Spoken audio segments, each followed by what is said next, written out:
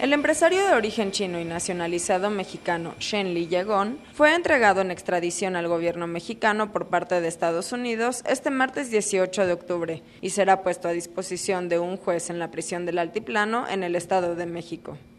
Yegon es acusado por los delitos de delincuencia organizada, contra la salud, posesión de arma de fuego de uso exclusivo del ejército, armada y fuerza aérea, y operaciones con recursos de procedencia ilícita. En 2007 fue detenido en un restaurante de Maryland, Estados Unidos, donde se le acusó de intentar distribuir metanfetaminas. Simultáneamente en México, autoridades encontraron en su residencia ubicada en Lomas de Chapultepec más de 200 millones de dólares en efectivo.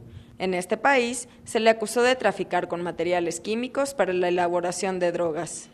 Aunque el gobierno mexicano solicitó su extradición desde septiembre de 2008, un juez estadounidense determinó concederla en 2011. Sin embargo, esta se retrasó debido a los recursos legales que interpuso el empresario farmacéutico.